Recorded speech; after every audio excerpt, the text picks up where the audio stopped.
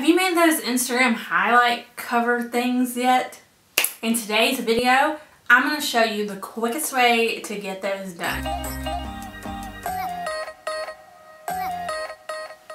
Hey guys, I'm Kate Danielle. Welcome to my channel. My goal is to help the DIY designer look great online so you can get back to doing more of what you love in your business. So let's talk about Instagram stories. Have you seen these cute little cover icons? I just love them. And this is a task I could totally overcomplicate trying to make just look perfect. Uh, but it should really only take a couple of minutes. I'm going to show you the fastest way to make those in Canva. Step one, you want to list out the topics that you think you want to highlight on your Instagram feed. Don't worry, you can always come back and add more later, but it's a great idea just to go ahead and brainstorm them out and create as many as you can in one go. Step two, let's head over to Canva.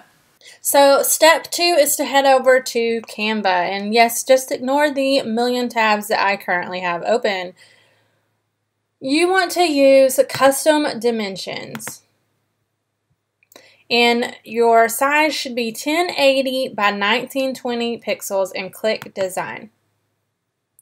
And I think the easiest and cleanest way to set up Instagram highlight covers is to use a background color and a little icon that matches the topic you want to highlight. So click on background and you can select your color. If you don't have your brand colors uploaded, just go find your color code with a free online color tool and you can paste it in here. And then just start searching for icons. So if you want to highlight your new blog post, you can search for blog. And now I am in Canva for work, so my free options may vary from yours, but there are some great free options in Canva. You could also check out Pixabay or Google. Uh, just make sure that if you're using Google, you do come up to Tools and set the usage. It'll look like this. Tools, usage rights, labeled for reuse. And you can download those and upload those into Canva. I like to keep these to as few colors as possible, and even one is great you want to size this a pretty decent size and get it centered onto your workspace by dragging it and getting those little purple guides to show up. And continue on to your next topic. Say you want to hi highlight your new videos on YouTube.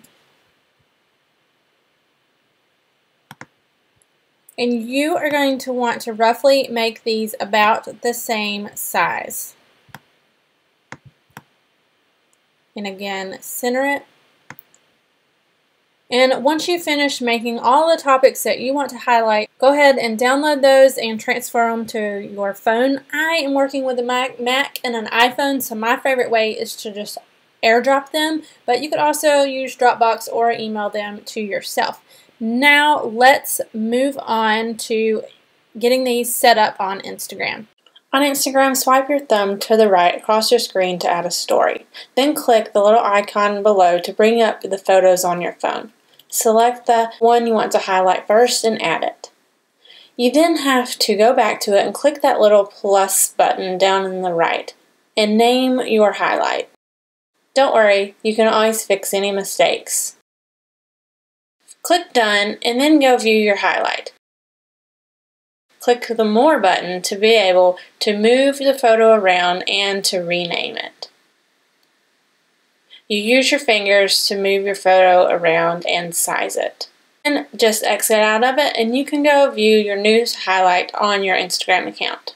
That's all I have for you today. Let me know in the comments what you are highlighting on your Instagram feed and be sure to subscribe for good vibes. Also, if you're hanging out on Instagram, which I'm assuming you are because you're watching this video, be sure to check me out there so I can say, hey, at Kate Danielle Creative.